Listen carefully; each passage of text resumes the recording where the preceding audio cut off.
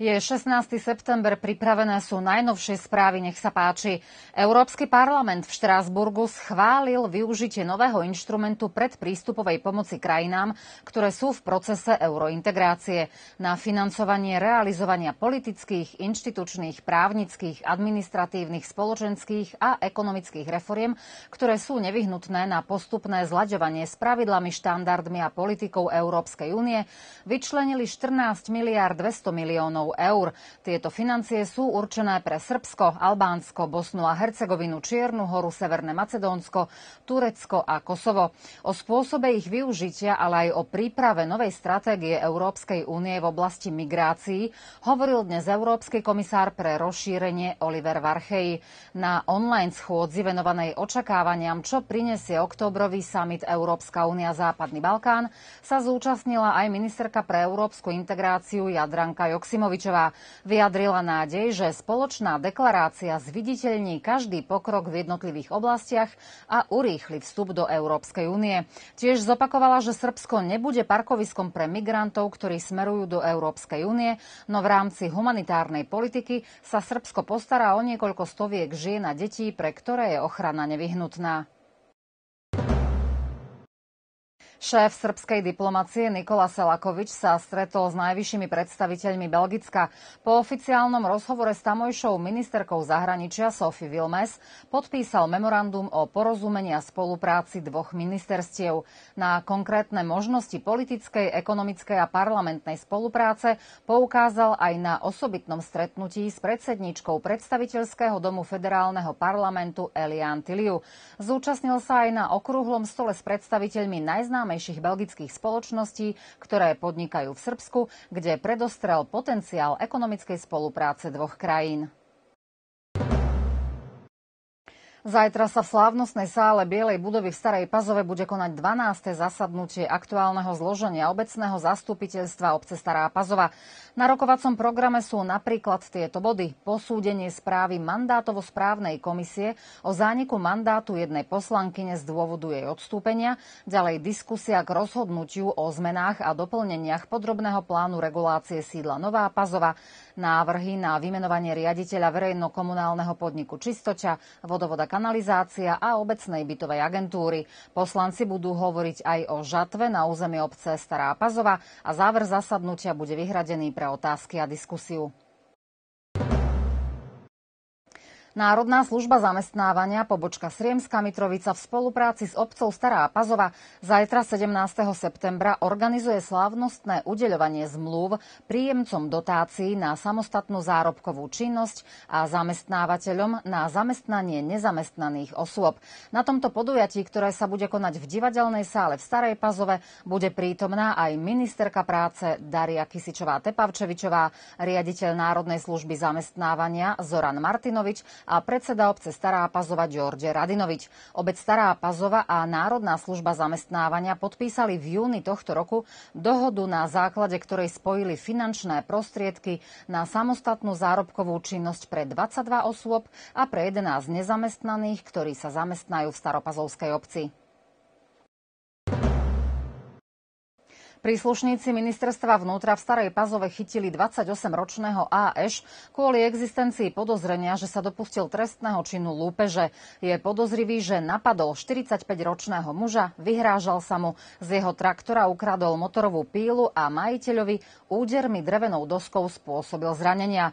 Polícia motorovú pílu našla a vrátila majiteľovi. Podozrivý bol zadržaný na 48 hodín a ďalej bude predvedený pred základný verejný súd v Starej Pazove. V noci na kruhovom objazde pri firme Deles na ceste v smere Nová Pazova Staré Bánovce automobil narazil do dopravného značenia na ostrovčeku kruhového objazdu, čím poškodil nadpis Nová Pazova. Touto nehodou vznikla väčšia materiálna škoda na aute. Do uzávierky sa nám nepodarilo zistiť, či bol niekto aj vážnejšie zranený. Príčinou nehody je nedodržiavanie povolenej rýchlosti a nerešpektovanie horizontálnej signalizácie. Na rovnakom mieste sa pred mesiacom stala podobná dopravná nehoda, pri ktorej zomrel motorkár zo Zemuna. Odborní pracovníci Centra sociálnej práce obce Stará Pazova sa zúčastnili dnes školenia, ktoré bolo venované informovaniu o témach sociálnej ochrany. Cieľom školenia je zlepšiť kvalitu informovania verejnosti o činnosti Centra sociálnej práce a o právach, opatreniach a službách sociálnej ochrany pre rôzne skupiny užívateľov. Prednášku viedol diplomovaný producent Miloš Lazič, riaditeľ, hlavný a zodpovedný redaktor RTV Stará Pazova. Školenie je časťou projektu Sociálna ochrana strana a média, ktorú podporuje Pokrajinský sekretariát pre sociálnu politiku, demografiu a rovnoprávnosť pohlaví. Očkovanie proti sezónnej chrípke sa v Srbsku začne 15. októbra. Záujemcovia o vakcínu proti chrípke sa už od včera môžu prihlasovať prostredníctvom portálu elektronickej správy e-úprava, čo od včera využilo vyše 2300 občanov.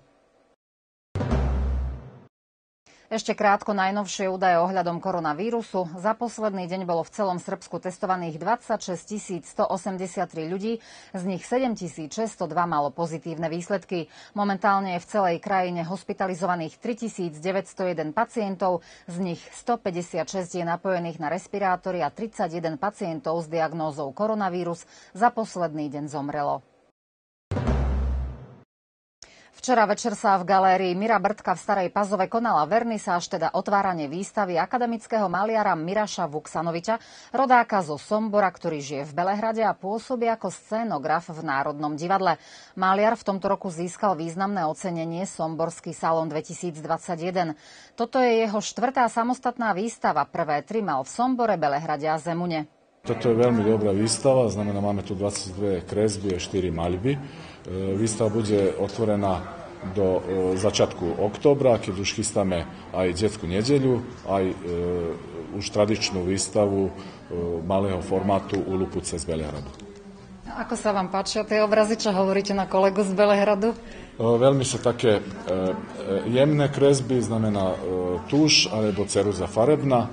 E, to su takve djetske, imaju djetsku dušu, a su a i e, ilustracije pre djetske knjige. Deň tradície, ktorý sa zaznamenáva v rámci Dňa Srbskej jednoty, slobody a národnej zástavy, oslávila aj novopazovská knižnica Petar Petrovič Negoš a to realizáciou seminára s názvom Tradičné hudobné nástroje v minulosti a dnes. V priestoroch detského oddelenia sa deti zoznámili s nástrojmi, ako je napríklad flauta, gajdy, klarinet, harmonika a podobne. Do podujatia sa aktívne zapojili aj významní muzikanti ako Filipiovič Vujakovič z Národného súboru Kolo a Milorad Vrga, Nemaňa Stojanovič a Saša Maziňanin, umelci zo spolkov, ktoré sa venujú udržiavaniu národnej tradície. Stefan Subotič z Belegiša potrebuje na liečenie ešte 240 tisíc eur, aby mohol podstúpiť liečenie kmeňovými bunkami. Stefan je aj naďalej hospitalizovaný v Nemecku a aktuálne má ťažkosti s citom megalovírusom, má vysoké CRP, teploty a stále sa mu neuľavilo.